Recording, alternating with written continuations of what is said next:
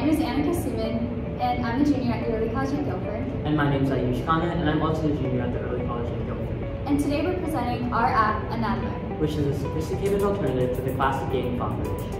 According to new data published by the Association of American Medical Colleges, the United States has an estimated shortage of between 37,800 and 124,000 physicians by 2034, including shortfalls in both primary and specialty care.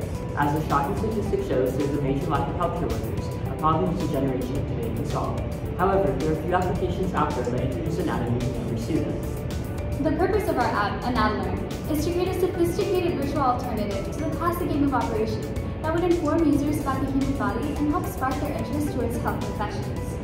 Therefore, our target audience is younger students, especially elementary and middle schoolers, and we hope to inspire them to continue studying anatomy beyond the game. This is a general blueprint of our game. Learn mode is designed for users to learn about body parts, their locations, as well as their functions. Practice mode is designed to instruct users about various common, sur common surgical procedures and the reasons behind doing them. So here's a game demo. This page is the home screen. It has a button for learn mode and for practice mode. This is the intro page for level 1 of the learn mode for the skeletal system. In this game, you need to drag each bone to the correct purple dot. If you guess correctly, it gives you information about the part. Guessing incorrectly takes off points. You can also place multiple parts in at once. This is the completion screen, and you see the correct body on the right. And this is the digestive system level, fast forwarded. So we're now back to the home screen and you can play the practice mode.